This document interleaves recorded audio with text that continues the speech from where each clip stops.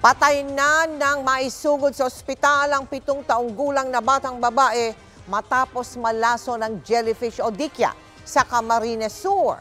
Ang mga pangulang luna sakaling madikitan ng dikya, alamin sa pagtutok ni Maki Pulido.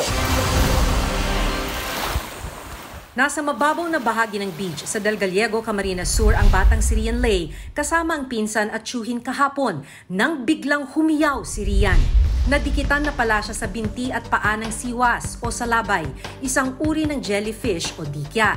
Nagtulong-tulong daw ang mga tao para matanggal ang sting ng jellyfish, pinahiran ng buhangin, pinatakan ng kalamansi at binuhusan ng suka. Nang mawala ng malay ang bata, isinugod sa ospital pero idineklarang dead on arrival. Kinumpirma ng BFAR na box jellyfish ang dumikit sa bata. Ayon sa epidemiologist na si Dr. Eric Tayag, pinaka nakalalasong uri ito ng jellyfish na dahil translucent, mahirap makita sa tubig.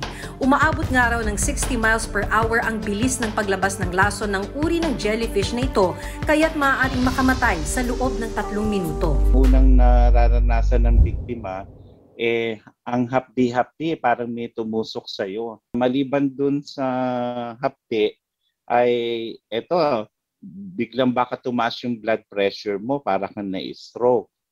Uh, kaya mahirapan kang huminga, magkakaroon ka ng rashes, at uh, mawawalan ka ng malay. Huwag daw agad bubunutin ang mga sting dahil lalong lalabas ang lason. Habang itinatakbo sa ospital kung saan sana may anti-venom, ito ang mga dapat gawin. Buhusan ng suka ng isang minuto. Kung may mga tusok pa, gamitan ng tweezer o chani para bunutin bago buhusan ng medyo mainit na tubig. Kung sa mata ang tusok, maaari itong buhusan ng tubig. Huwag hawakan. Dapat walang pressure kung nasaan ang mga tusok ng jellyfish dahil lalong lalabas ang lason. Huwag na huwag ka mag apply ng pressure. Huwag mong bubuhusan ng alcohol. Lalo kasi magdi-discharge yung nematocyst maraming venom ang papasok sa katawan mo.